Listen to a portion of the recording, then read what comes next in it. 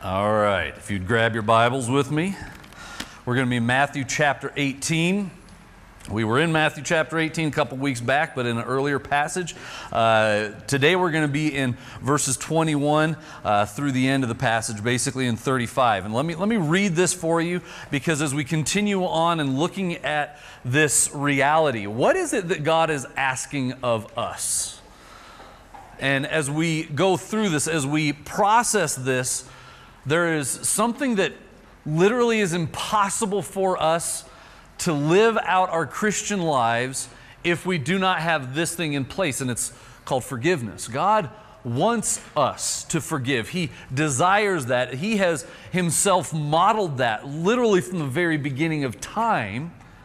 God has modeled this. And so we're going to look at Matthew chapter 18, verse 21 through 35. And this is a parable that Jesus shares with his disciples. And if you see something as you read through the New Testament where it says, the kingdom of God is like this, that's like the big, obvious giveaway that what is coming is a parable. Okay?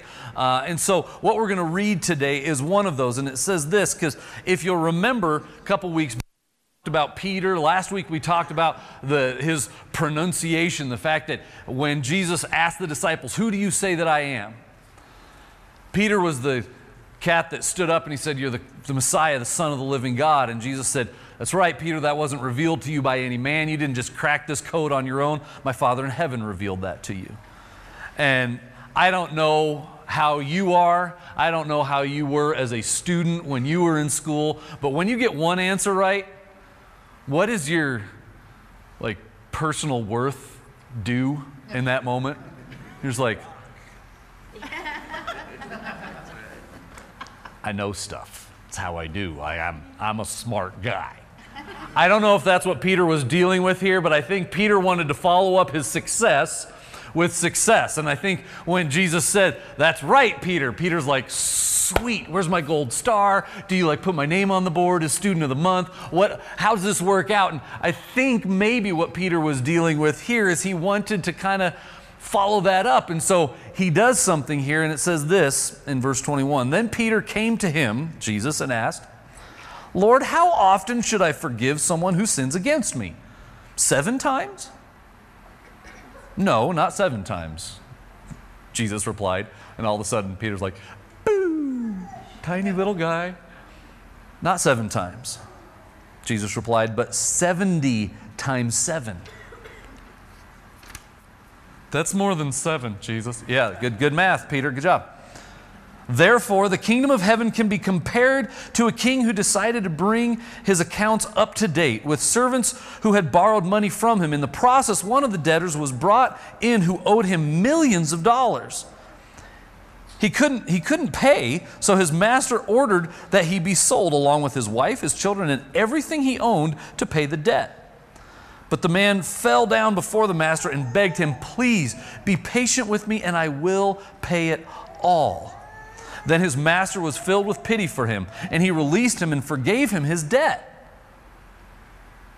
What, what preceded this? Jesus said, The kingdom of heaven is like this. This is how God works. God does this thing called forgiveness. And then verse 28 But when the man left the king, he went to a fellow servant who owed him a few thousand dollars. He grabbed him by the throat and demanded instant payment. His fellow servant fell before him and begged for a little more time. Be patient with me and I will pay it, he replied. But his creditor wouldn't wait. He had the man arrested and put in prison until the debt could be paid in full. When some of the other servants saw this, they were very upset. They went to the king and told him everything that had happened.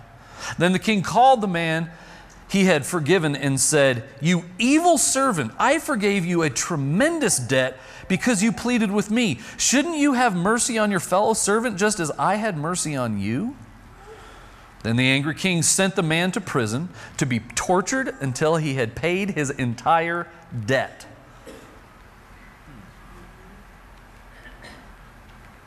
People go, Oh, isn't God a jerk? Well, no, God in this story is the king. The king's first response was forgiveness.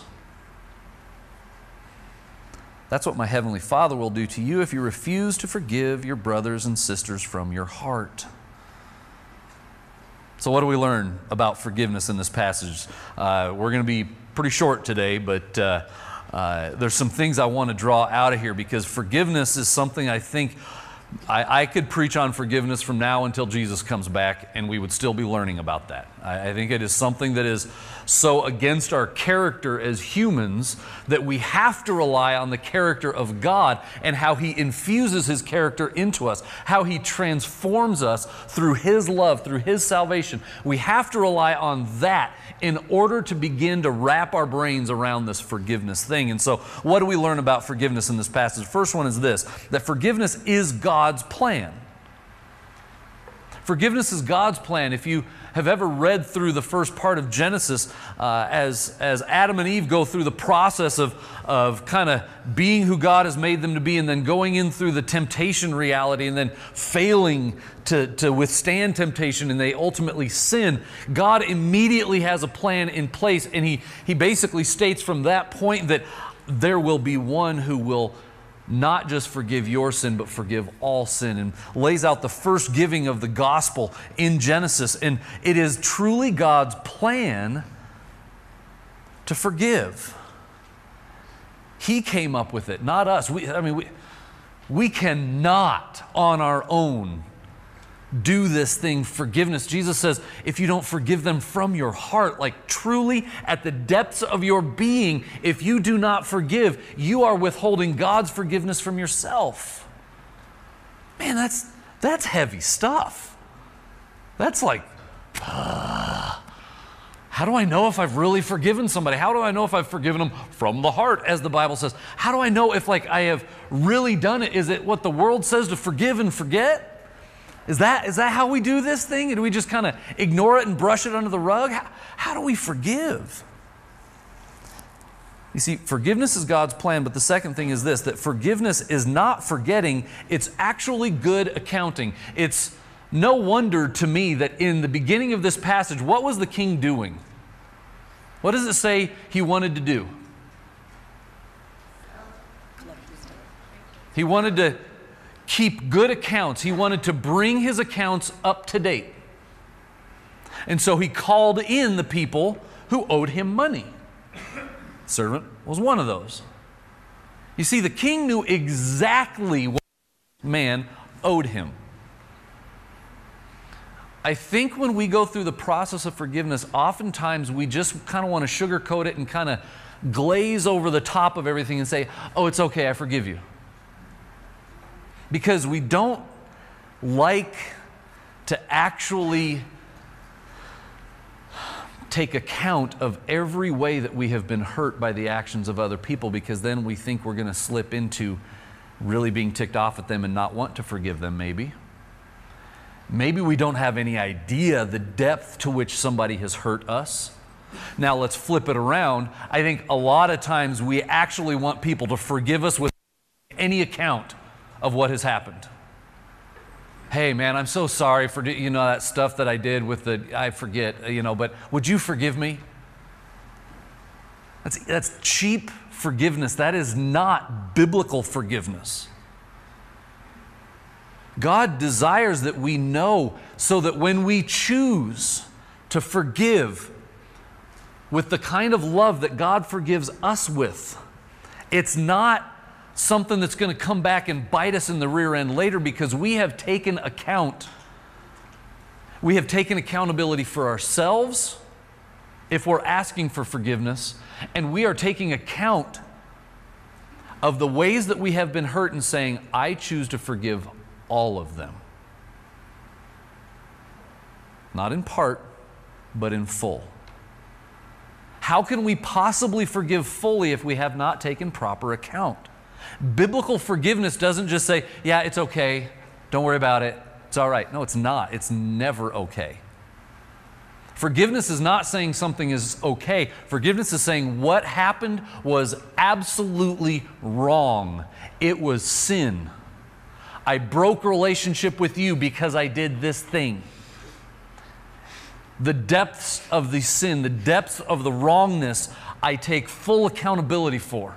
And I'm not asking you to forgive me for something little, I'm asking you for full forgiveness. Or maybe you're on the other side of that and you are needing to give full forgiveness. And the reality of that is this that quite often, it is so difficult for us to forgive because there are so many ways in which we have been affected by the hurt that somebody else did to us. Which is why forgiveness early is, forgive- is better than forgiveness pushed down the road.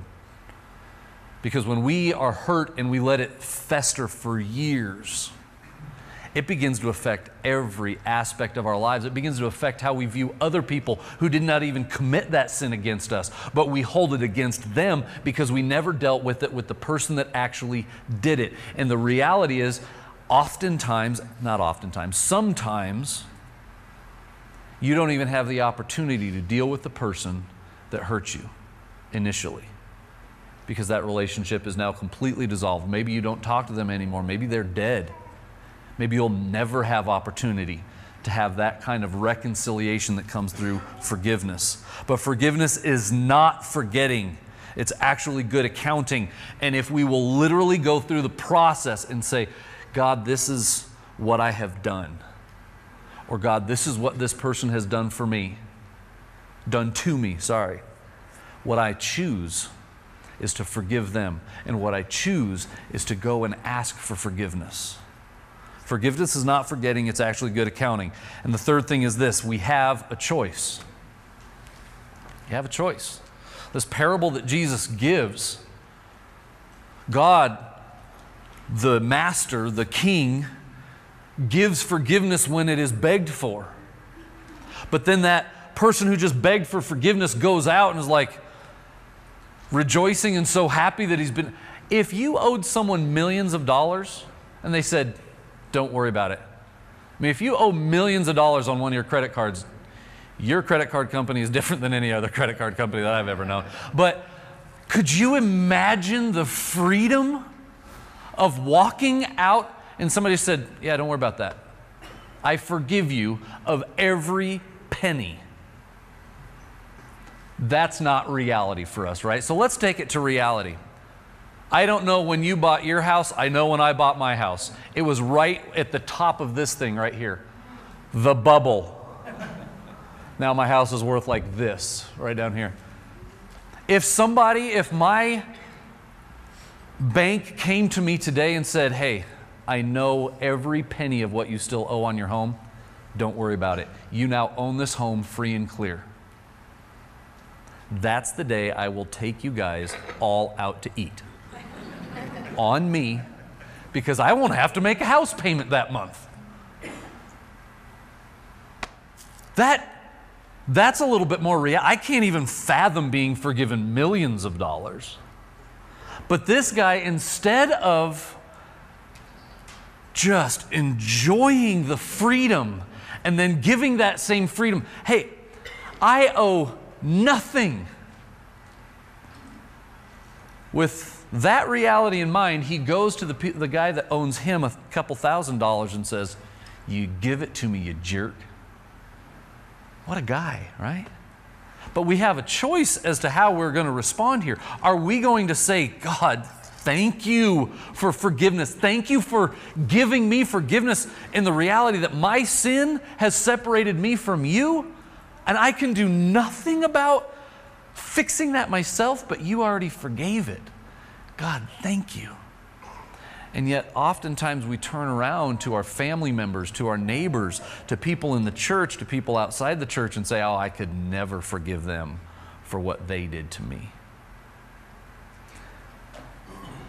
We have a choice. And the fourth thing is this that you are the only limit to God's forgiveness. God's forgiveness can cover anything you have ever done, it's, it's already been paid for. The only limit to that is you. According to this passage, I'm not making this stuff up. The king had already forgiven, it was already done, it was already given that way.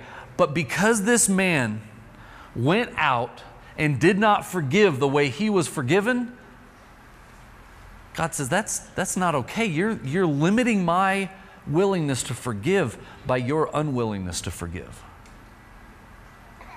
God wants to forgive. Again, that's His plan, that's His desire. I know many of you well enough to know that you've been hurt.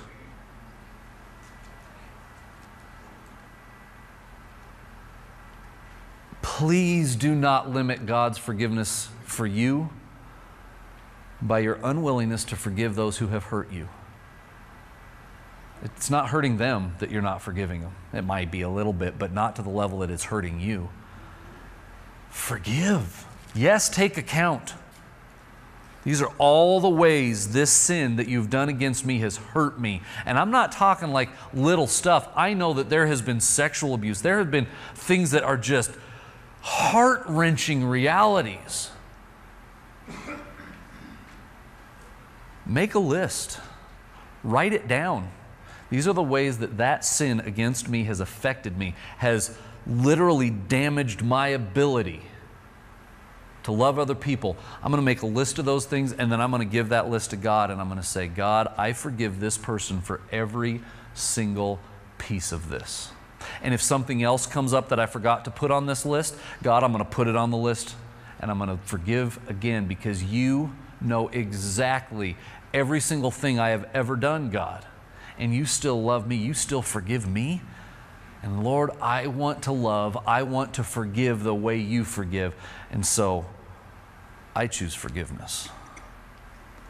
You are the only limit to God's forgiveness. Let me go to Matthew chapter 6, verse 7 through 13. It says this When you pray, don't babble on and on as people of other religions do. They think their prayers are answered merely by repeating their words again and again. Don't be like them, for your Father knows exactly what you need even before you ask Him.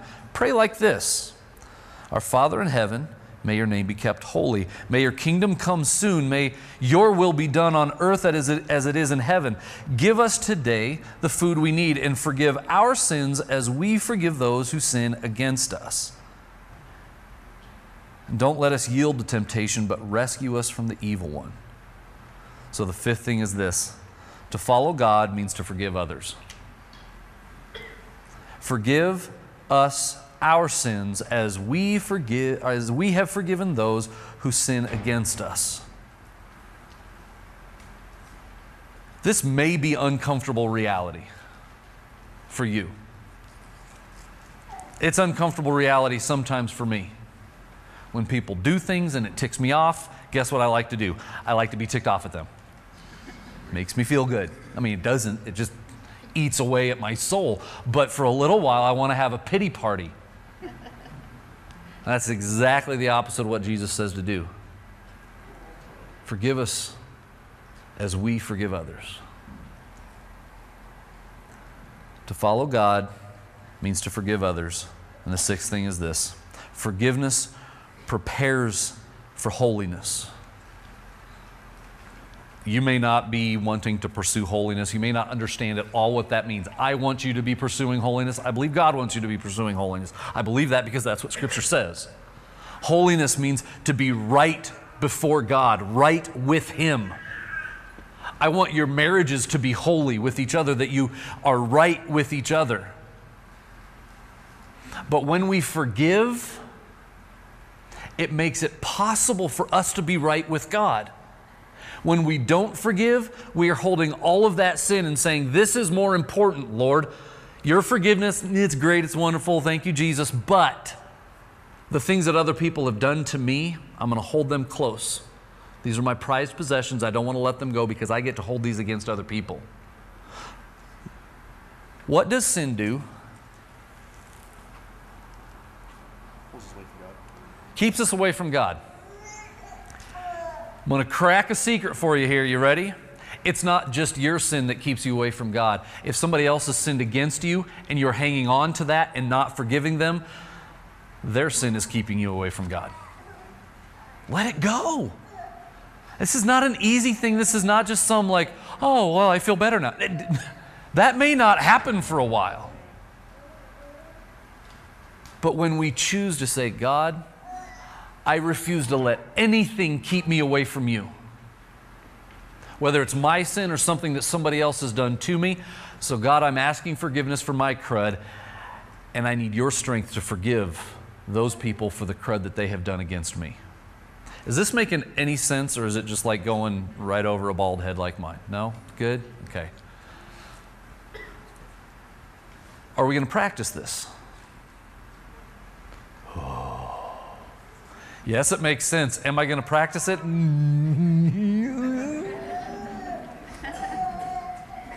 sure. It's not optional. If you're a Christian, you should be a good forgiver.